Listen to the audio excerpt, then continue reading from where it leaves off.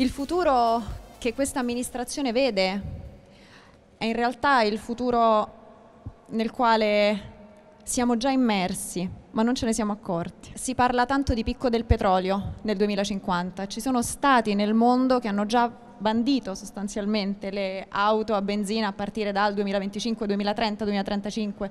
L'ultimo mi pare in ordine di, di tempo è l'India. Io credo che se parliamo di mobilità quello è il futuro e con la Formula E noi vediamo e tocchiamo con mano un futuro possibile.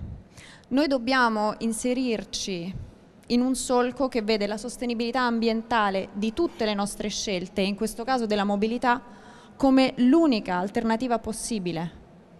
Permettetemi di allargare appena il, il discorso. La Terra è, un, è la nostra casa? È un paese nel quale le risorse sono scarse, le risorse sono finite. Per cui noi non possiamo puntare a uno sviluppo infinito e incontrollato, dobbiamo puntare a uno sviluppo che sia sostenibile.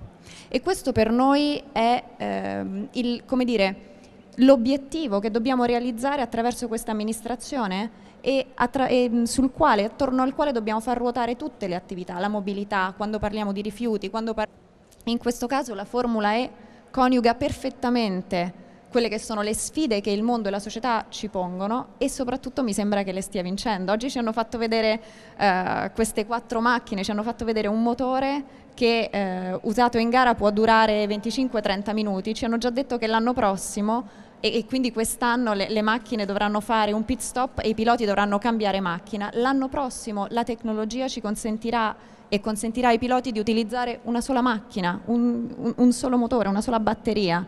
Questo vuol dire che la tecnologia fa dei passi avanti giganteschi ogni giorno. Noi non possiamo considerare la città di Roma come un museo a cielo aperto. Il museo rimanda a un elemento che è stato, a un passato che si deve osservare. No, Roma non è questo. Roma è una città che deve essere leader nel campo dell'innovazione, che può e deve aspirare a essere tra le grandi città che accolgono il futuro e che guidano questa rivoluzione, questo passaggio verso la sostenibilità. E sicuramente la Formula E è una grandissima occasione per dimostrare quanto tutto questo sia possibile e per rendere tutti noi più consapevoli del fatto che, ad esempio, le auto elettriche possono realizzare e avere delle prestazioni eccezionali. Per cui, come si diceva, in effetti la Formula E è un laboratorio, però tutte le innovazioni che vengono poi studiate e messe a punto in maniera millimetrica su questi bolidi, poi vengono eh, come dire, riportate e trasposte invece in quelle che sono le auto di massa. E quindi eccoci, non potevamo non accettare questa sfida e abbiamo iniziato a lavorare con tutti loro da subito per riuscire a portare qui a Roma questo bellissimo evento che sa coniugare quindi un grandissimo evento sportivo di caratura internazionale e però tutto un concetto e un sistema e una visione di mondo che poi è la nostra visione.